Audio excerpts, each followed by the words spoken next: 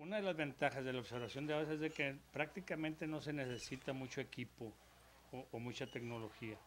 Uno puede ir a cualquier lado y siempre va a haber, va a haber aves. ¿eh?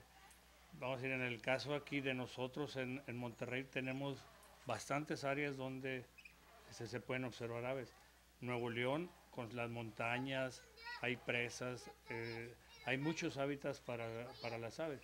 Prácticamente en, eh, en Nuevo León se pueden observar más de 400 especies de aves de las 1100 que hay en México. Es un muy buen, muy buena zona para, para la observación.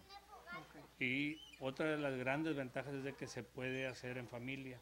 O sea, no se necesita i- ir a un lugar, a un campo de, e- especial, sino que se puede hacer prácticamente en cualquier, eh, en cualquier área libre, en un rancho, en eh, Chipinque, en, eh, en un parque, en la Alameda, este, en cualquier lado se puede hacer eh, fácilmente. Desgraciadamente en México no está tan, tan desarrollada. En Estados Unidos es una, es una pasión muy grande, en Europa no se diga. Vamos a decir, en, en toda Europa hay casi la- las mismas aves que se ven en Nuevo León y, este, y ahí hay mucho más pasión por las aves. Aquí en, ah, en, en Nuevo León o en México no se ha desarrollado, se está, se está generando mucho el ambiente de, la observación. Yo he ido a observar aves, por decirte algo, a Oaxaca y contrato un guía de allá y he sido el primer mexicano que lo contrata. Él está prácticamente ocupado todo todos los días del año, pero con puros extranjeros. Se necesita prácticamente unos binoculares si los quiere uno ver más cerca y eh, existen guías de aves.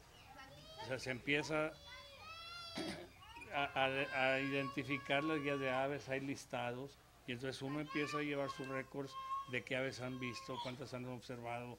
Hay gente que en la práctica va desarrollándose y, y empieza a identificar las especies. Se puede considerar el área urbana, incluyendo la Sierra Madre o el, el Chipinque, el Cerro de la Silla, las Mitras, se pueden observar alrededor de 300 especies.